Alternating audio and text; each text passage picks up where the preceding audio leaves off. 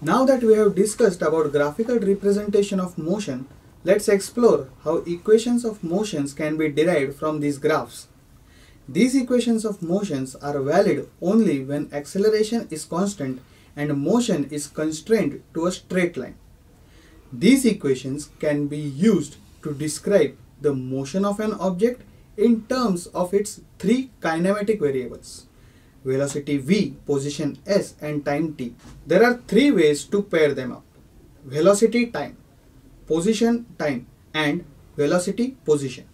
In this order, they are also often called the first, second and third equations of motion. First equation of motion.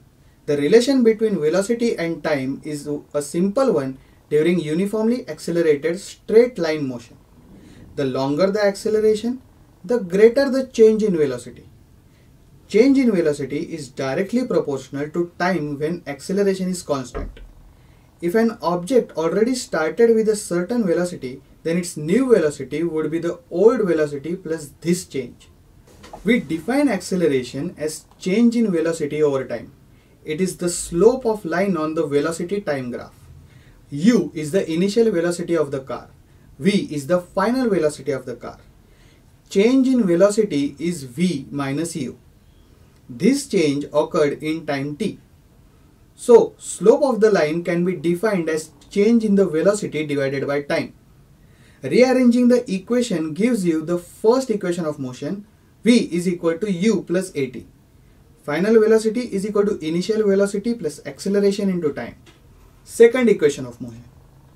The displacement of a moving object is directly proportional to both velocity and time. Move faster, go farther. Move longer, as in longer time. From the graph, it is equal to the shaded area. The shaded area is the sum total of rectangle and triangle. Area of rectangle is u into t, that is initial velocity multiplied by time.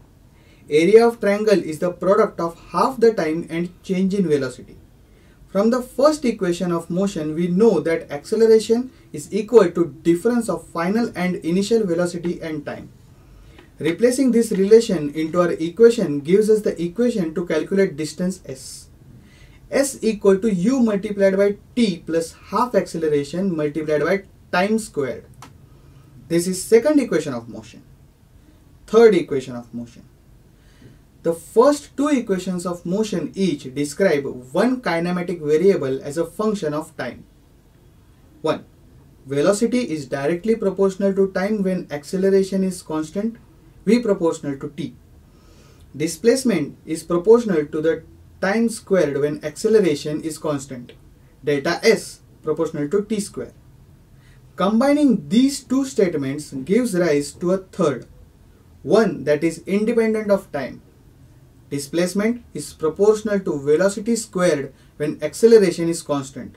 Delta S proportional to V square. This statement is particularly relevant to driving safety.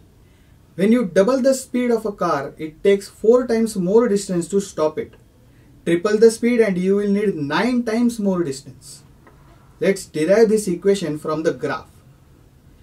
As we know, area of shaded region is the distance covered area of trapezoid is half product of the sum of parallel sides and distance between the lines. We will use the first equation of motion and then replace t with equivalent value. This gives us the third equation of motion. v square is equal to u square plus 2 into acceleration into distance. v is the final velocity, u is the initial velocity a is the acceleration, S is the distance or displacement.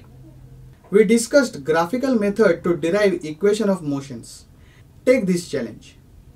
Person races a bike from rest and accelerates to 60 km per hour in 10 seconds. How far person travels in those 10 seconds?